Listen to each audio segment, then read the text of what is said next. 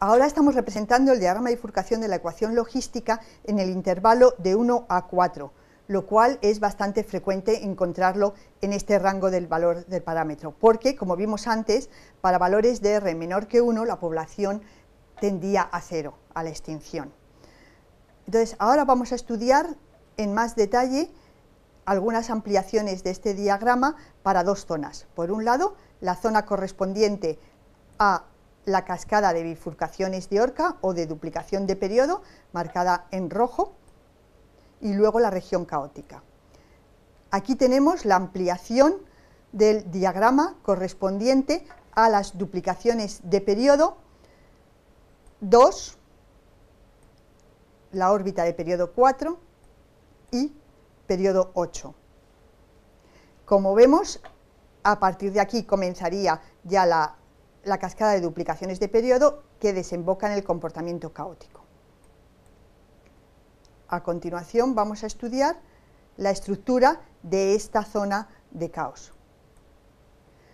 En la figura mostramos un detalle del diagrama de bifurcaciones para el intervalo de R comprendido entre 3,5 y 4. Vemos que intercalado entre las zonas ennegrecidas, donde la población puede tomar cualquier valor comprendido en este rango, hay ventanas de regularidad que hemos marcado con rectángulos. Este rojo encierra una ventana de periodo 3. Aquí observamos una ventana de periodo 5 y aquí una de periodo 7, que a continuación vamos a realizar ampliaciones de cada una de estas ventanas para estudiar en mayor detalle. En la figura presentamos una ampliación del diagrama de bifurcaciones para los valores de R comprendidos entre 3,82 y 3,86. Observamos claramente la presencia de la ventana de periodo 3, es decir, tenemos la órbita periódica 1, 2, 3. Pero a su vez, si nos fijamos, tiene lugar una bifurcación de Orca, dando lugar a una órbita de periodo 2 aquí, 4 y 6, de periodo 6, que vuelve a sufrir otra bifurcación de Orca, dando lugar a una órbita, periódica de periodo 12, y así sucesivamente, de manera que vamos encontrando una secuencia de órbitas periódicas de periodo 3 por 2 elevado a n, que a su vez desembocan de nuevo en comportamiento caótico.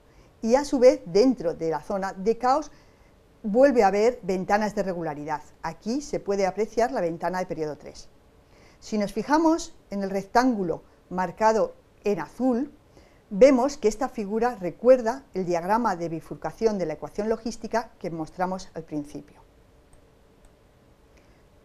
Ahora estamos presentando una ampliación del diagrama de bifurcación correspondientes a la zona R mayor que 373 pero menor que 375, donde se aprecia claramente la presencia de la ventana de periodo 5.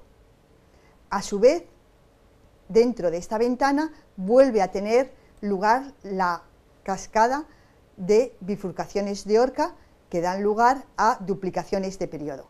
Por tanto, esta órbita de periodo 5 se convierte en una órbita de periodo 10, que vuelve a sufrir otra bifurcación de Orca, dando lugar a una órbita de periodo 20, y así sucesivamente, hasta que finalmente vuelve a desembocar en el caos.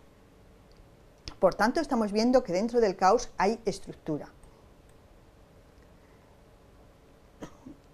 Si nos fijamos en el detalle que hemos marcado con un rectángulo que está alrededor de la órbita próxima a x igual a 0,5, volvemos a ver que se reproduce en pequeñito el mismo diagrama de bifurcaciones que vimos al principio y que observamos también en la, en la ventana de periodo 3. Ahora estamos realizando una ampliación para el rango del valor del parámetro comprendido entre R igual a 3,7 y 3,72.